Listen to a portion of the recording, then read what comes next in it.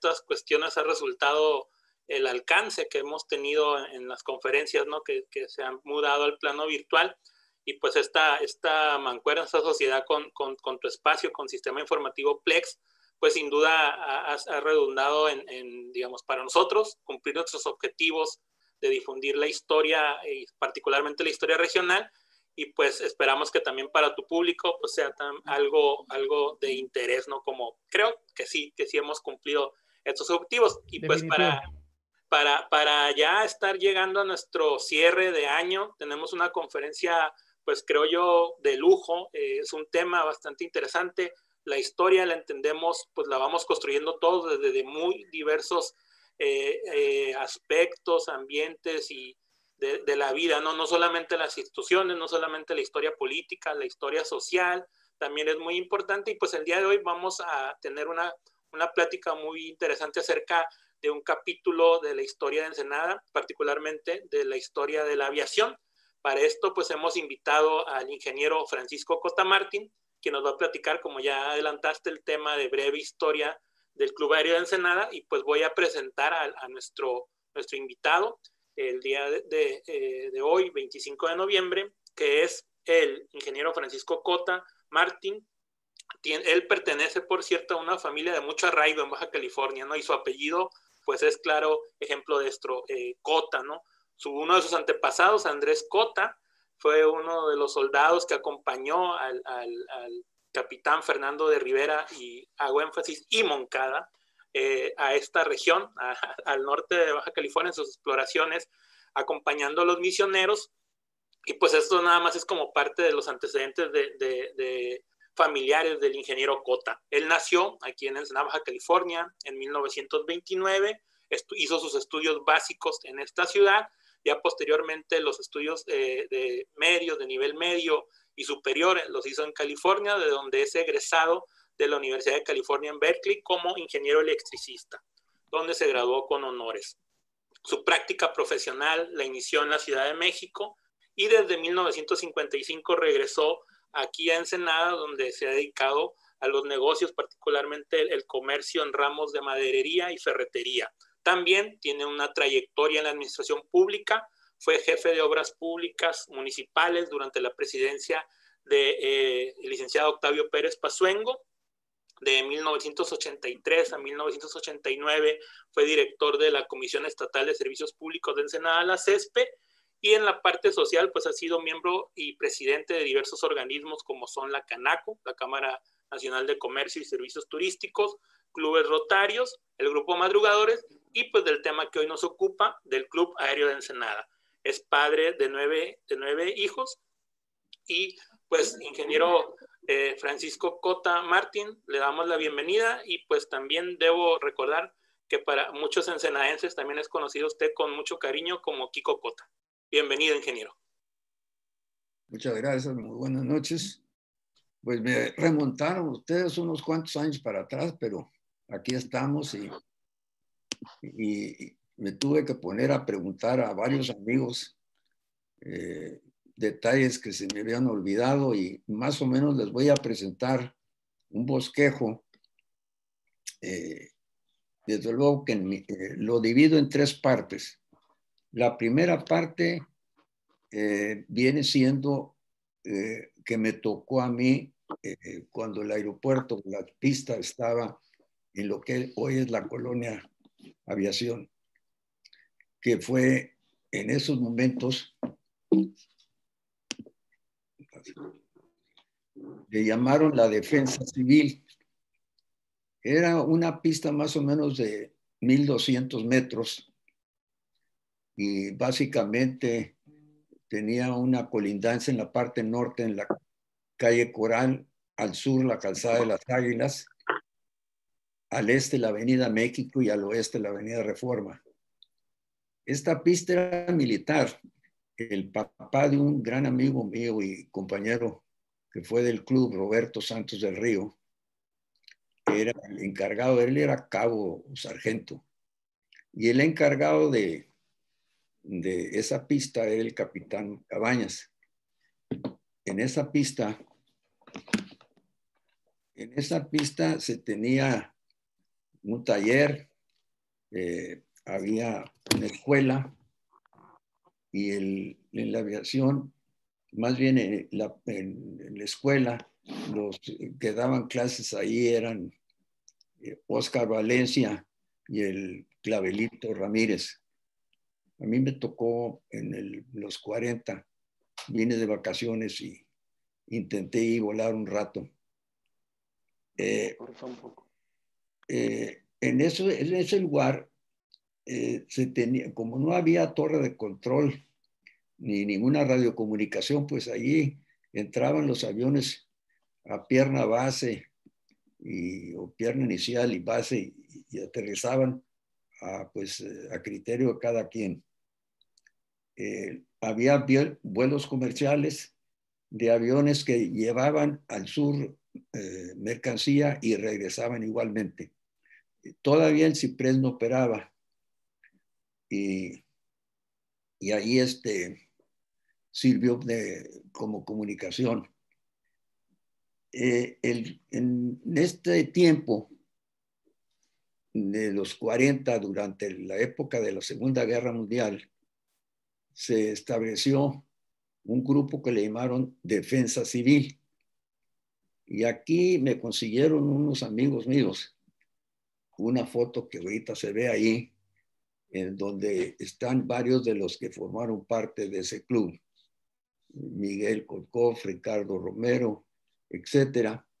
Un hermano mío voló.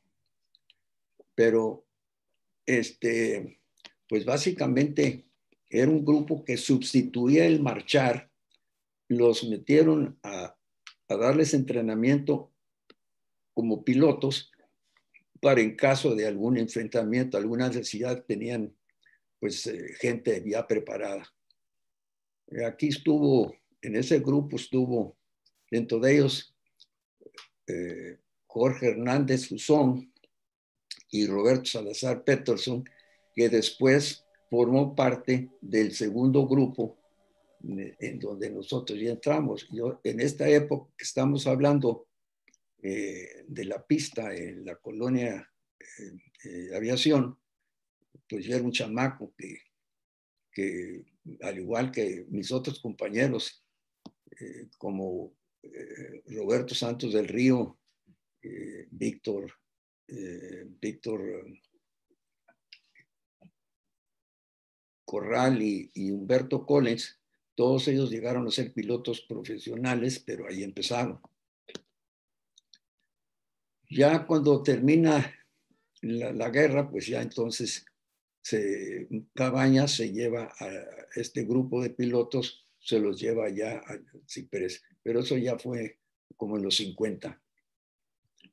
Eh, me tocó de chamaco en una ocasión eh, como en 1944 que vine de vacaciones, me tocó pegármele a un grupo en un avión que era del capitán Cervantes, en un Fairchild de tela, y llevaban tanques de combustible a bordo. Y ahí entre los eh, famosos eh, tanques nos sentamos varios y salieron siete aviones de Ensenada para ir al, a Santa Rosalía porque entonces operaba el voleo y se interesaron en formar allá un club aéreo. De los siete aviones eh, quedaron tres en, el camino con fallas y, llegaron cuatro. Yo entonces tenía 15 años, pero sí disfruté de la fiesta porque nos hicieron una gran fiesta y en el hotel francés ahí eh, fue la gran pachangón y bailamos y todo. Eh, terminada esa, etapa, eh, voy a comentar aquí algún, aquí se, de los que yo me acuerdo de los miembros, los pueden ver ahí en pantalla. Alejandro Rometkin, pues yo creo que varios de ustedes lo conocen. Alfredo Cota Vivas, mi hermano, pues ya murió, como, como, como, el, como Felipe Navarro Novelo también. Genesta, Isaac Betani, gente conocida de aquí, Manuel Moller murió en un accidente, Mariano Robles Linares, Miguel Kotkov, Oscar Valencia, Ricardo Romero, Roberto Salazar Petersen y Roberto Cetina.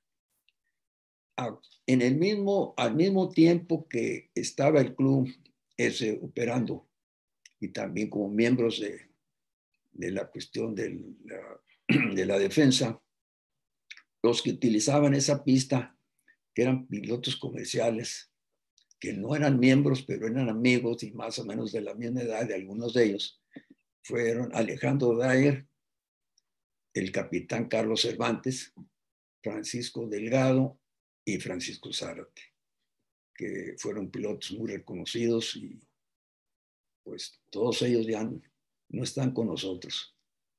A nosotros, entonces ellos tenían varios aviones. Este avión que, eh, que estoy aquí, que me encontré en el 44, perdón, en el, equipo que tenían ellos, pues tenían varios, yo no me acuerdo exactamente, pero había un Piper J3 que era el para, que servía de instrucción, un avión de tela, motor chiquillo de 65 caballos. Y ese que está allí es un Fairchild PT-19. Puede ser el que tuvo Jorge Hernández, después se accidentó. Ah, tuvieron también un Volti, que creo que era de del Bobby Salazar. Eh, alguien más tenía un ATC, que era un, un, uno de entrenamiento eh, eh, este, avanzado, y un Tailcraft, que era una cosita de nada con un motor de 65 caballos que él usaba, para usar en, vuelos. Pues todo, entonces no se volaba eh, los comerciales volaban al, otro lado, pero los locales pues volaban aquí, de aquí a Mexicali, de aquí a zonas no muy lejanas. Que eso cambió porque cuando ya nosotros, 15 o 20 años después, empezamos a volar, pues sí, ya había radioayudas y ya había aviones más completos y ya tuvimos la opción de poder volar, volar más lejos y y fuera de la nación. Eh, esto nos lleva, ya terminado eh, esto que les comento de la etapa de, la colonia aviación, hubo un lapso ahí de tiempo en que no hubo una actividad de un organismo eh, formado porque había ya la famosa defensa civil, pues no existía y, entonces yo calculo que fue en el 57, 58, que a mí no me tocó la primera reunión, pues empezaron a moverle en la cuestión de establecer un nuevo club. Y el primer presidente que hubo, ya el segundo grupo, se puede decir, fue el señor Mario Larrauri, era el jefe de, de Hacienda aquí y el secretario fue el señor Gustavo Andrade. Eh, ellos empezaron las cosas y en el Inter, pues eh, en el aeropuerto había una, había una, este, una, una persona ahí en Gilberto del Toro que había sido militar, tenía un pipercito de tela medio parchado, y él empezó a dar instrucción. Yo a mí, yo me tropecé entonces porque en una ocasión el ingeniero Rubén Corral Rascón, un gran amigo mío, este, me dijo, me invitó, y dice, vamos a las seis de la mañana al Ciprés.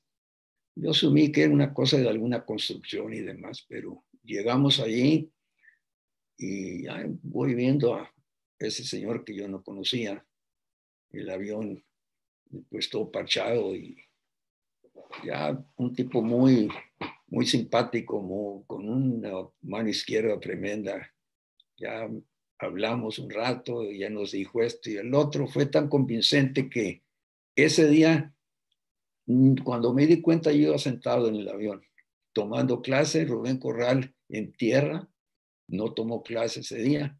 Y de ahí vino la, semillita y ahí, ahí empecé yo a, a las prácticas y hice mi solo y, y ya seguí, me gustó mucho y le dediqué mucho tiempo y calculo que como en el 65 eh, hicimos una mesa directiva para hacer la cosa un poco más formal. Y, y en esa mesa directiva que duró algunos años, pues eh, el vicepresidente fue Raúl Espinosa Breceda, secretario Roberto Salazar Peterson y tesorero Jorge Hernández Usón, que venía del otro grupo. Y el centro que nosotros tuvimos de operación fue el aeropuerto militar del Ciprés. Eh, ahí tuvimos una gran suerte porque el jefe del grupo aéreo era el coronel Antonio Mejía Castro. Le decían el cachas, claro, nosotros no, pero la gente, ellos sí. Él fue un gran elemento. Eh, teníamos una libertad tremenda ahí mientras hubiera orden y disciplina y él nos ayudó mucho y compartía con nosotros toda la clase de actividades que teníamos. Eh, nos sirvió mucho él porque la disciplina, no siempre nos hablaba que aviación eh, es muy necesaria la disciplina y sin disciplina pues nos vamos a quedar sin vida. Eh, en, ese entonces, del que estoy hablando yo en los eh, cincuenta y tantos, sesentas, los miembros eran los que estoy listando aquí, que eran algunos. Este, allí dentro de ellos, pues había tres profesionales que nos sirvieron mucho, que eran este, Víctor Corral, Roberto Santos del Río y Humberto Collins. Ellos todos volaron, unos aeropesca, el otro, Víctor Corral, voló hasta recientemente. Él era piloto ejecutivo, voló con Pesquera del Pacífico, antes de eso voló con Cervantes y antes con eh, Pancho Muñoz de Tijuana y finalmente eh, hasta hace unos cuatro o cinco años voló para la exportadora de sal. Todos estos elementos siempre fueron grandes colaboradores y, y, pues nos dieron muchas, nos ayudaron a nosotros que éramos privados y nos sirvieron de mucho, mucha ayuda. Aquí está otra. Aquí son más o menos los aviones, no todos son nuestros, bueno, sí eran de nosotros, pero los aviones que teníamos en común, que a través de, Jorge Hernández, que fue un, tesorero número uno y duró muchos años, que nos traía al trote a todos, cobraban oportunamente. Adquirimos, por ejemplo, primero un J3, eh, ahí está, es el, el, tercero en la línea ahí. Eh, y después eh, un 150 que no lo veo ahí. No lo veo. No estaba ahí, pero era un 150 que básicamente después del Piper, que era el que usaba el instructor, que era Gilberto del Toro, ese lo vendimos a a este Ayala, que le, decíamos el pato Ayala, que estaba en Guerrero Negro, y él puso su escalita, y ese Piper después, pues él lo vendió, pero él se fue a volar para Aeroméxico y voló muchos años. Ya ahorita el, hijo precisamente del pato es piloto y vuela en, China. Eh, después compramos un ciento, entre 10 de nosotros nos juntamos y compramos un, avión 150. Ese lo compramos nuevo. Y Felipe, eh, Felipe González y yo nos fuimos con unos americanos en un avión por el famoso avión. Un vuelo muy interesante porque fuimos a, a Kansas y, era de invierno y todo el piso era nieve y todo lo hicimos de noche. Llegamos a las 3 de la mañana el Monte California. Pero ahí se, nos dimos cuenta de lo que, uno puede hacer con estos aviones chicos particulares. Después compramos un Taylor Calf de 65, 65 caballos. Posteriormente lo vendimos a Mexicali y finalmente compramos una Champion Citabria, que era acrobático. Lo compramos en, Wyoming, y, pero lo recogimos aquí en, en Gillespie, aquí en San Diego. Y era muy, muy especial porque era, venía de una escuela de, de, de, acrobacia y traía un letrero puesto en el tablero que decía Actun, ¿verdad? Atención. Dice, toda maniobra acrobática debe terminar sobre el nivel del terreno. O sea, si se equivocaba uno, pues, si tenía que terminar abajo del terreno, pues era accidente. Eh, en lo particular, eh, teníamos los miembros, los aviones particulares, yo tenía un 182, Roberto Santos del Río tenía un 185 y luego Roberto Santos del Río volaba aeropesca y tenía un, un 170 y, un GM que está ahí, que era un 172. O sea, sí teníamos algún número de aviones porque le incrementamos mucho a la actividad. Este, aquí enseguida está, estoy anotando ahí el primero era Gilberto Toro. Mauro González después, él era, primero fue mecánico, después le enseñó Gilberto y daba clases. Claro, no, no de la calidad de Gilberto del Toro. Eh, tuvimos afortunadamente un grupo con mucho entusiasmo. Aquí tenemos eh, una foto de una de las actividades más bonitas que tiene la aviación aquí está listado muchos de los compañeros y al centro está una eh, José Velasco, que se ve sucio. Pues sí, sí estaba sucio, porque una de las tradiciones que se tienen en aviación es que cuando lo sueltan a uno, o sea, cuando el, el instructor dice que está uno listo para hacer el solo, y se baja el instructor y el piloto sale y hace su vuelta y aterriza, despega y aterriza solo, entonces se viene eh, eh, el evento de que toma un aceite quemado y pues lo baña uno al, cuatito y si es joven lo montan y se hace tóxico. Pero después de eso viene ya las carnes asadas y todo lo que viene con la fiesta.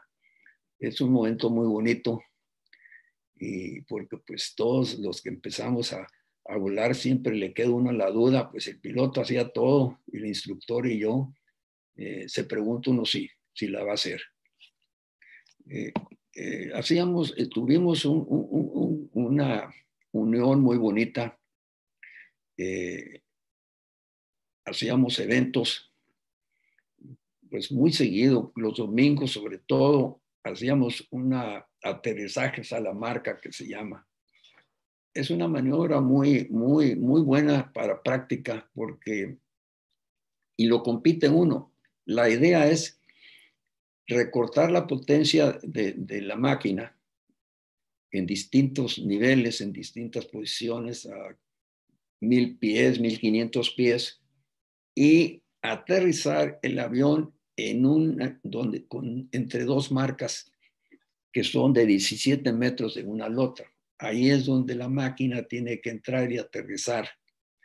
Y pues cuando se aproxima uno le dan 8, 7, lo que sea. Y si uno llega al punto exacto, pues le dan 10. Y era muy buena práctica, lo hacíamos.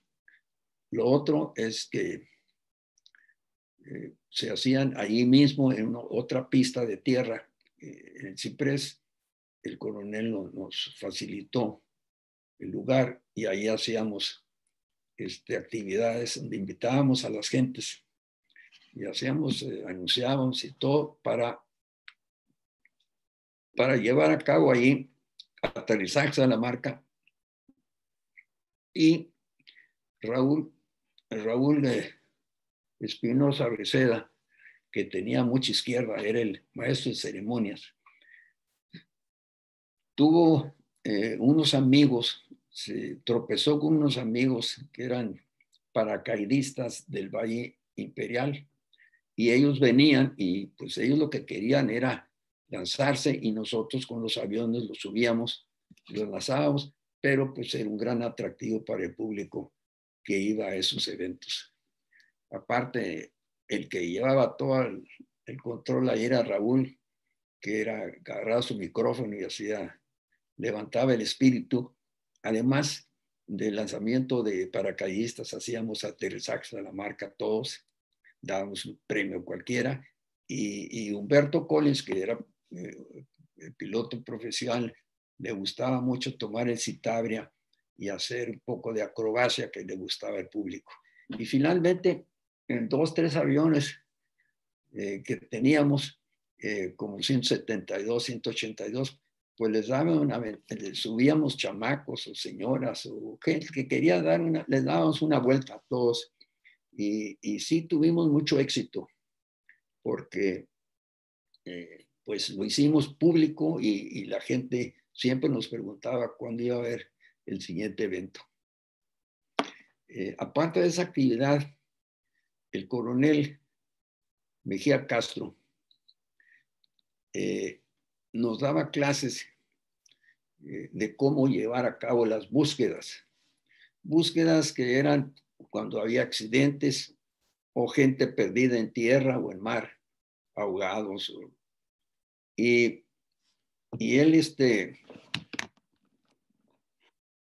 siempre nos, nos, eh, nos indicó eh, la forma de hacer las cosas y, y nos daban unas, nos daba cómo cubrir las, ah, las áreas. Hay una forma de, de, hacer las, cómo cubrir, hacer un, una especie de trazo y nos daba zonas. Y nos sirvió mucho eso porque eh, cuando había un avión perdido, me acuerdo una vez que, que hubo un avión que salió de Tijuana y a de exportadora que iba a Guerrero Negro. Hubo, era invierno, hubo tormenta, se perdió, algo pasó y el avión vino y quedó estrellado en el ejido Uruapan. Eh, Pancho Delgado venía con el avión del gobierno de Estado y, el, y Roberto y yo, Roberto Salazar, íbamos en el 182, casi, casi llegamos al lugar al mismo tiempo, pero cada quien le había, eh, Pancho venía por, de Mexicali y a él le tocó encontrarlo, nosotros no, al Bobby y a mí nos hicieron, nos dio esa ruta el coronel, pero sí, otra vez hubo un caso de un yate un yate que tuvo problemas en San Jerónimo, en la isla, y ya nos tocó a nosotros ir a buscar cuerpos y sí, eh, en esta ocasión se salvó una niña que salió a la playa en el Rosario y nosotros encontramos al niño, al hermano y, otros encontraron a, la señora. Pero todas esas actividades, pues quien las, coronaba, quien las coordinaba era el, el coronel. Este, que siempre nos sirvió y siempre tuvimos este, gran, un gran apoyo con él. Y en ese tiempo, a nivel nacional, se formó una Federación Aérea de México. Eh, principalmente el grupo que apoyaba eso era gente de Monterrey. Y también en esa época eh, el gobierno federal tuvo mucha, un gran propósito de, escucharnos. Quizá no resolvían los problemas, pero sí teníamos las puertas abiertas nosotros para poder ir a plantear nuestros asuntos y a que tuvimos otra gran suerte. Eh, el ingeniero Rodríguez, que era el jefe de la de aeronáutica civil, era un ingeniero del Poli que estaba aquí en Tijuana. Se casó con una tijuanense y llega a esa posición. Nosotros teníamos la gran oportunidad de ir a México y, ser atendidos y era amigo de nosotros. Lo mismo que el ingeniero que estaba de inspector de aeronáutica en el aeropuerto viejo de Tijuana. El ingeniero del PECH también era un ingeniero del poli, gente muy buena, siempre nos auxilió y pues nosotros nos trataron muy bien, todos. Entonces, se, reunieron los distintos eh, miembros de distintos clubes y se formó la federación. Eh, la primera convención fue en Acapulco, Guerrero, en 1967. Y este, en esa hay una foto por aquí que, pues, eh, aquí dice acá, es, una, el, avión, el, avión 182 que era de mi propiedad. Y están dos personas ahí que me acompañaron. Y de hecho este, de esta toma es de, de del, eh, ¿cómo se llama? En Jalisco, Vallarta, que fue la última, el último el último punto que, que toqué antes de ir, de ir a Acapulco. Ahí el propósito en estas, eh, en estas eh, reuniones, pues era presentar ponencias. Eh, mm, yo entonces era presidente y yo siempre pensé, aunque llevábamos muy buena relación con, con la zona militar, siempre necesitábamos un espacio este, pues, civil.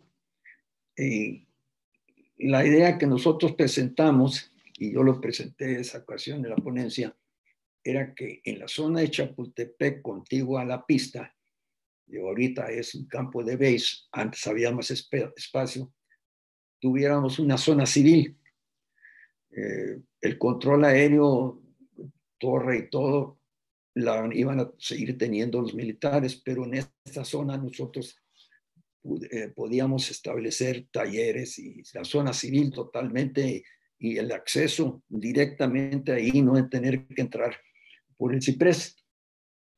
Eh, yo llevé esa ponencia y, y la volví a llevar en la segunda y tercera de las, eh, de las, de las de, las convenciones y pues básicamente nunca se pudo hacer nada, pero, pero sí, pues la lucha se hizo. Ahora, el interés que nosotros teníamos también, porque trabajamos con los grupos de turismo locales, era que el americano de California, Arizona, tiene la costumbre, quizá en todos Estados Unidos, pero aquí en California tienen la idea de los fines de semana hacer vuelos de una hora, hora y media. En ese caso, Ensenada les era un lugar excelente, estaba dentro de ese, de, ese radio y nosotros con la idea de tener un lugar civil podíamos haber este, pues interesado aviones, no tanto por nosotros, sino para beneficio de la industria turística. Hicimos tres eventos el que más tuvimos, tuvimos 60 aviones. Eh, el que entonces este, el Carioca Suárez, José Suárez, eh, que era brasileño, que hace poco murió, era un gran entusiasta y él nos ayudó mucho en promover eh, todo eso. Y, pero desgraciadamente, pues lo intentamos una o dos veces y eh, pues de hecho, pues no, no, no se pudo. Después, eh, esto, eh, en Acapulco se presentó eso, después la segunda fue en Monterrey. Aquí hay una toma en donde es una toma donde estamos ya en, en, un hangar ahí cerca de Monterrey, en una pista. Y hay una foto aquí de, de los, que, de los que estuvimos allí. básicamente ahí está el, representante de SCT, que es el señor de Oscuro, y está Roberto Santos del Río a la izquierda y Raúl Durazo, y que eran los tres que fuimos, y, el avión 185, que era de Gilberto del Toro. El mío nos falló ahí la, una corrosión de ala y nos fuimos en este. Un vuelo pesadito porque fuimos de los pocos que llegamos. Eh, había entonces, hubo en ese año, eh, hubo gran, grandes lluvias y se desbordaron unos, unos ríos y demás. Pero llegamos. Ahí en esa convención, ahí está este Eliseo García Araujo, entonces era secretario de Turismo eh, en el gobierno del ingeniero eh, Sánchez Díaz. Eh, promovimos ahí el hecho de podernos traer la tercera convención en Senada y así fue. Nos trajimos en Senada y aquí está la toma que hicimos. Este era, estrenamos el, el Royal Inn y pues, los que llegaron ahí, que se quedaron, nuestras esposas pues nos atendieron y llevaron flores y dulces, o sea, muy bien atendidos y nosotros, desde luego, con los compañeros pilotos, vinieron de varias partes de la República de Sonora, pues ahí de Sonora vinieron dos o tres amigos, amigos, muy amigos nuestros, y, y este fue en el salón. Ahí está, entonces era presidente municipal el Guili, ahí estaba presente, y nos resultó un, éxito formidable. Y, pues nosotros no podíamos competir con, con, el, con Guadalajara o, con Monterrey, pero hacíamos ruido y, nos llevábamos bien. El, cuarto fue en Hermosillo y nos fuimos en el 185. también eh, Raúl Durazo ahí estaba también. Pues Raúl siempre fue, fue a todos. Ahí pues fuimos y visitamos al, al el segundo aquí de la izquierda, de izquierda a derecha, era, era un piloto muy, muy profesional de Sonora, fue muy amigo nuestro. Y ahí estamos en la foto. Eh,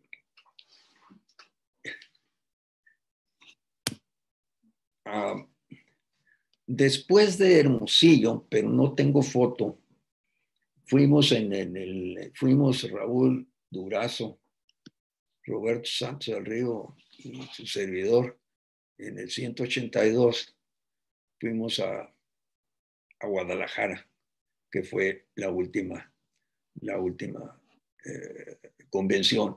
Después de eso, eh, pasó eh, a nivel nacional, en cuanto a la federación, lo que nos fue pasando en todos los clubes.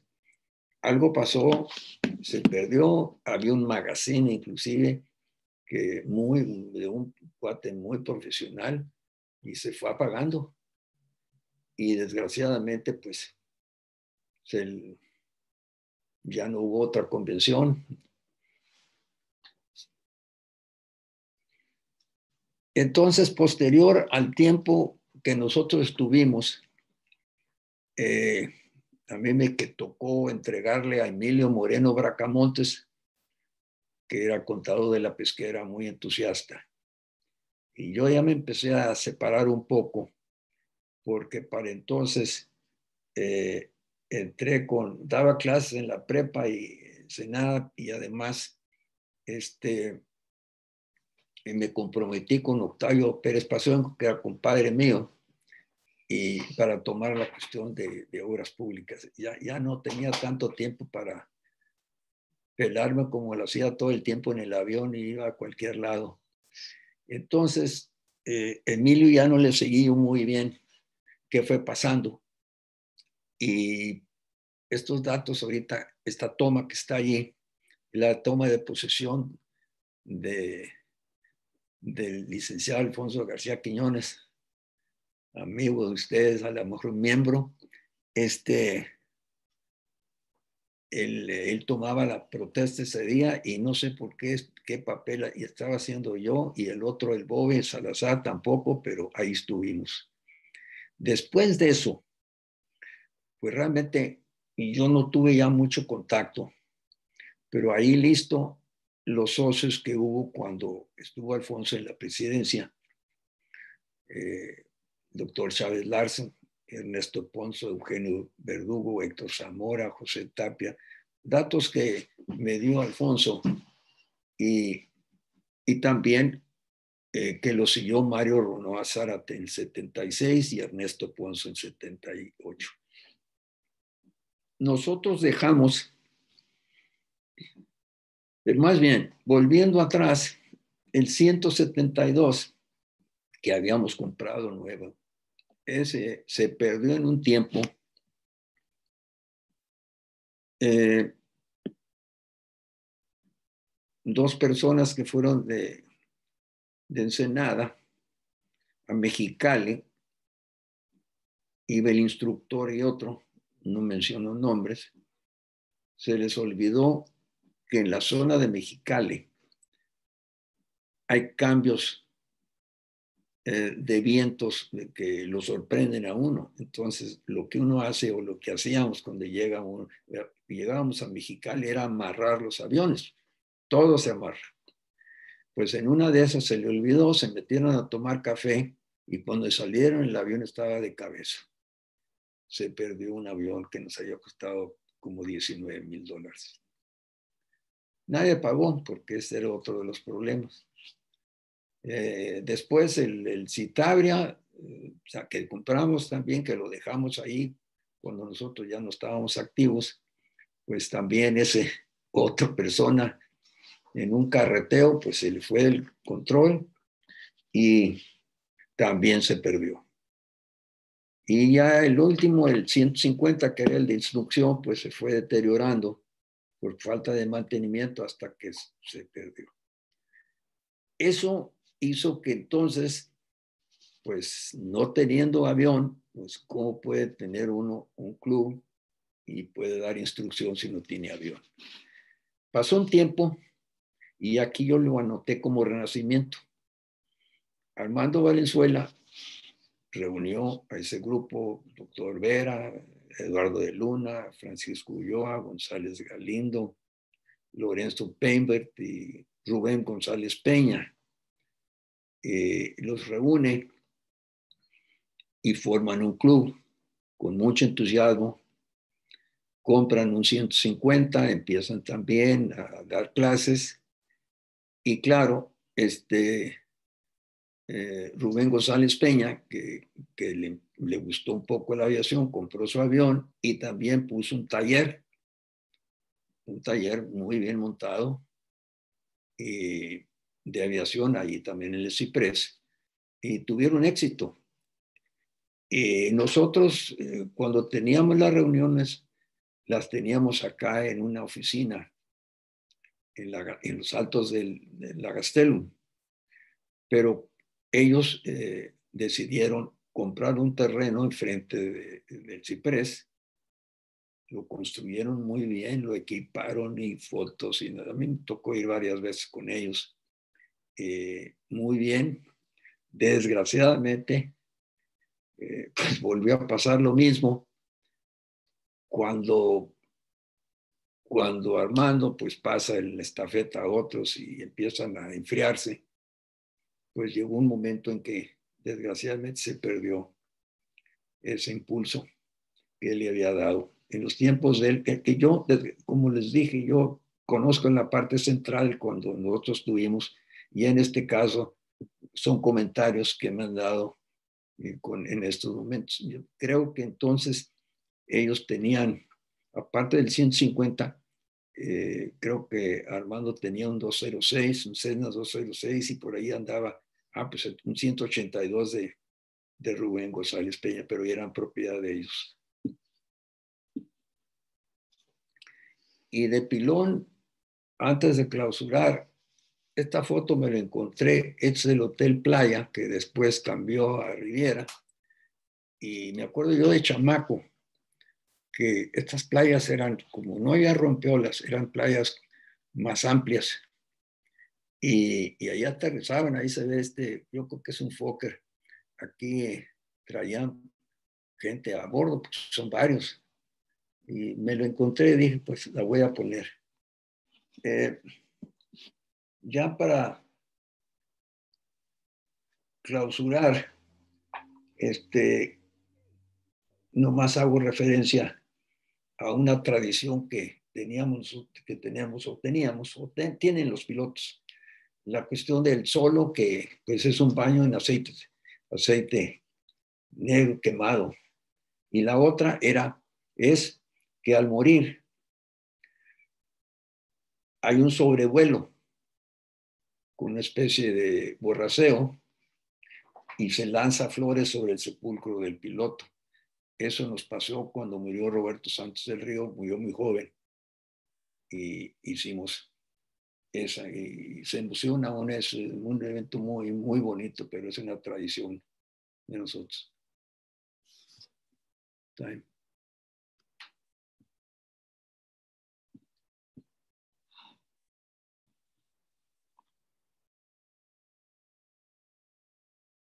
Pues muchas gracias. Este, por lo pronto, ahí es lo que puedo decirles o lo que me puedo acordar.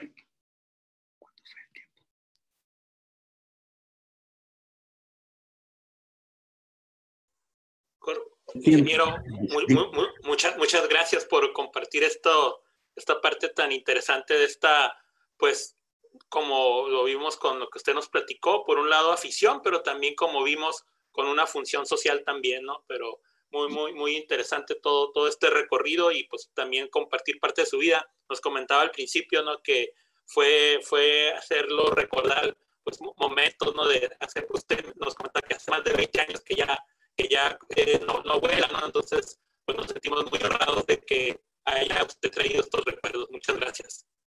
Ándale, pues. Muchas gracias a ustedes, ¿eh? Pues, y tenemos comentarios eh, aquí en la, eh, Ricardo, si me permites, en la, tenemos esta transmisión conjunta. Hay saludos para usted, hay saludos aquí a la conferencia y al, de parte de su primo, el señor Fermín Cota Amaral, los saluda desde Tijuana. También el señor ah, eh, Choza, el Héctor Choza lo manda a saludar, al ingeniero Cota, María Elena Mejía nos dice que muy interesante todo lo que usted ha platicado, eh, Livier Choza, son algunos de los saludos que tenemos, también nuestro buen amigo, el ingeniero, el profesor Rogelio Ruelas, nos saluda desde Mexicali, son parte de los comentarios que tenemos aquí para, para usted. Eh, y pues realmente para mí ha sido bastante, bastante interesante el origen este que nos platica usted acerca de la eh, relacionado a la defensa civil, ¿no? tiene tiene su, lógica y, muy interesante que esto haya quedado aquí en Ensenada, ¿no? Sí, eh, ahí esa foto que, les presenté me lo prestaron, pero ahí están cómo, estaba, cómo se uniformaban ellos, ¿verdad? Porque sí eran parte de, del grupo militar. Muy bien, y bueno, también quiero hacer aquí patente mi agradecimiento a nuestro buen amigo, el licenciado Alfonso García Quiñones, ¿no? que fue, que fue nuestro, eh, nuestro enlace con usted. Es, como usted lo mencionó, muy, muy buen amigo de varios miembros aquí del seminario, entonces le, agradecemos esa función de enlace con usted para poder realizar esta conferencia, ¿no? sabemos que está por ahí sintonizando también. Muy bien. Hay una persona como la fase original, pues yo la tengo, no, no la viví, que es cuando estaba en la, la pista en, la colonia. Eh, quien puede, el día que ustedes eh, les interese más, este, hay una persona, Víctor Corral, que fue piloto profesional, todavía vive. Este, él, aunque él estaba más chaval que yo, de todas maneras, él él, eh, él estuvo ahí muy cerca y le interesó mucho y él todavía eh, tiene muy buenos datos.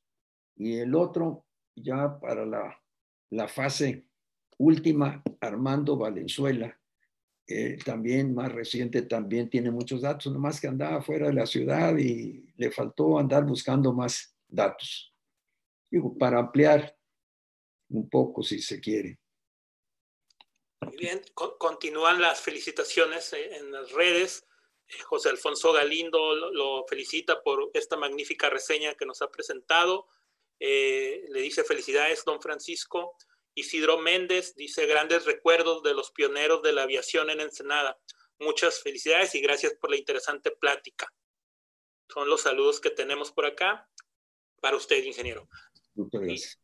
Y también aquí dentro de los eh, compañeros del seminario nos pregunta nuestro secretario Roberto Escobar, lo felicita, muy interesante crónica, y pregunta qué pasó después del año 1976 con los conocidos y compañeros que se dedicaban a la aviación.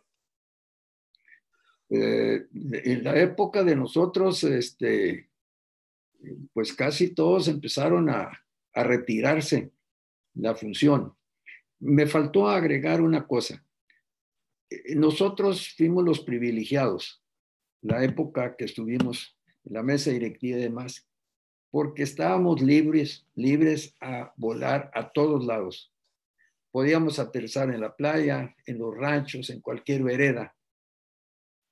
Con los cambios que empezó a haber con el manejo de sustancias no legales y demás, la aviación, y yo por eso dejé de volar, porque ya mi radio de acción no era muy amplio, entonces eh, se dudaba mucho ¿verdad? ¿Qué, ¿Por qué bajas en la playa? Pues, a dejar un paquete o a recoger otro, no sé. Entonces, eso les pasó a varios. Y, y, lo más importante es que eh, requieren líderes y requieren grupos que trabajen y por eso casi todos se enfriaron. Casi todo, pues no quedó casi nada. Armando fue el último que hizo un renacimiento, pero, pero no, hasta ahí nomás llegó. Muy bien, Ricardo, no sé si tienes eh, comentarios en, la transmisión de Plex. Sí, hay este, bueno, obviamente personas que estuvieron etiquetando a otros, ¿no? Que posiblemente aparecían ahí en, la, en las fotografías que estaba mostrando el ingeniero Francisco. Em, eh, etiquetaron por ahí a Eugenio Verdugo Balbuena, su papá creo que apareció en una de las fotografías. Eh, también etiquetaron por ahí a Roberto Vera. Hay felicitaciones de parte de Mayer Cabrera, felicidades ingeniero, orgullo ensenadense. Arturo Saldaña también le, felicita.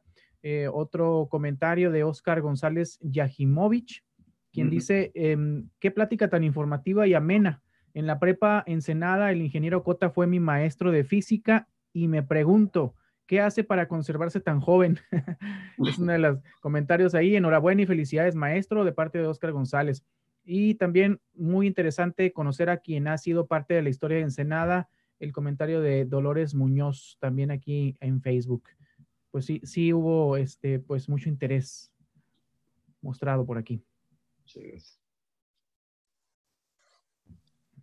Pues correcto, creo que son los comentarios que tenemos por el momento. Ingeniero, pues nuevamente muy, muy agradecidos por, por compartir esta plática y como usted nos dice, esto puede servir pues para contactar a los, a, los miembros que usted nos menciona después de, los, de las otras etapas del club y seguir haciendo crecer esta, esta historia particular de, de la aviación aquí en Ensenada. Pues muchas gracias por su participación. Muchas gracias a ustedes. ¿eh? Muy bien. Y pues, y pues al, al público decirles que con esta plática eh, hemos, estamos terminando nuestro ciclo eh, 2000 21 de, 2021, ya me estoy adelantando, ¿no? este año, ¿no? Perdón. Eh, ya, ya, quiero que se vaya el 2020.